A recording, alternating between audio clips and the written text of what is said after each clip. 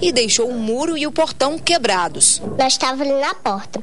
Aí nós fomos saindo, o carro veio de uma vez, quase explodia. Quando eu ouvi o barulho, que eu corri assustada, pensando que eu tinha pegado na minha netinha.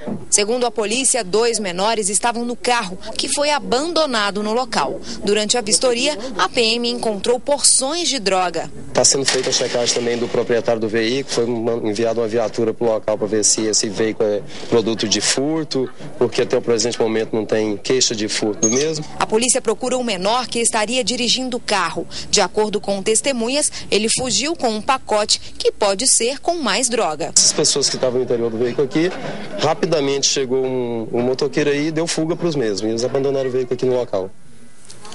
A cegueirinha Aparecida, bandidos instalam uma armadilha para assaltar quem passa